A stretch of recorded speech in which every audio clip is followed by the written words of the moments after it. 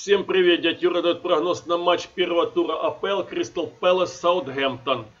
Встречаются 14 и 11 команды минувшего сезона. Очные матчи. В последних 10 очных играх команды поровну играли на обе забьют да нет и 6 раз на тотал меньше.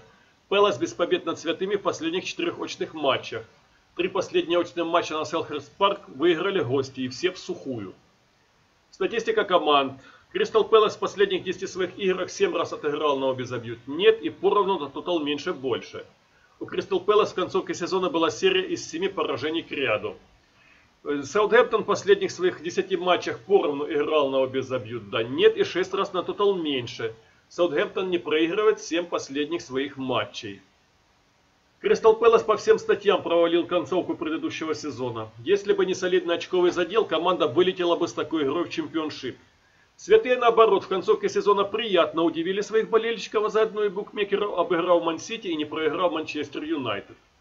В межсезонье Пэлас провели два товарняка, в которых добыли две победы. Возможно, эти два матча вернут уверенность команде, ибо в противном случае Рою Ходжсону придется искать новое место работы. В очных поединках на Салхест Парк все очень плохо для Пэлас. 0-5 в последних трех очных играх. Пэлас минувший сезон закончили серии из четырех матчей на тотал меньше. В пяти последних сезонах АПЛ Пэлас 57% домашних матчей играет на тотал меньше, обе забьют нет. Саутгемптон 53% выездных матчей наоборот, на тотал больше и обе забьют да.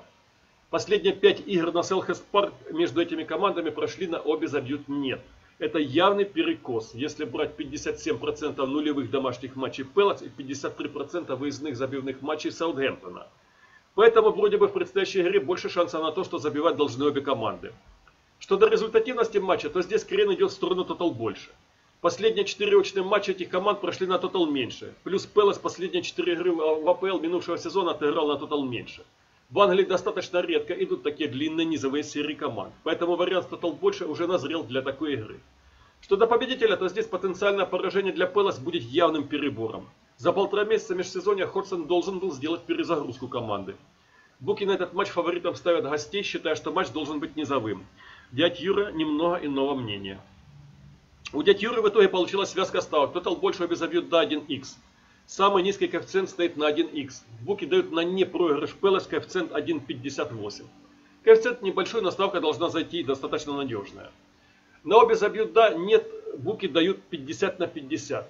Учитывая очень длинную нулевую серию очных матчей на Селхест Парк, пожалуй, предпочтение целесообразно отдать варианту с обе забьют да.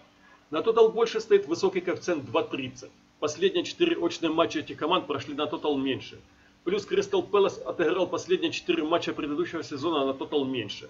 Поэтому, пожалуй, ради 2.30 можно рискнуть взять вариант с тотал больше, который уже давно назрел на эту игру. Но у вас может быть иное мнение на этот счет. На этом все. Дядя Юра верит, что у вас все получится. Всем оптимизма и удачи. Будьте здоровы.